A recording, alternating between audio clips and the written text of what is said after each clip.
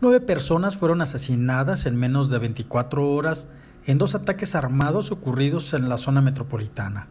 Dos más fueron localizados sin vida en San Juan de los Lagos y en Tlajomulco de Zúñiga se reportaron otros dos casos. Es decir, en menos de 24 horas, 13 personas fueron asesinadas a balazos en cuatro casos. Los que más llaman la atención son los ocurridos en la colonia Polanco, en el municipio de Guadalajara, frente a un templo.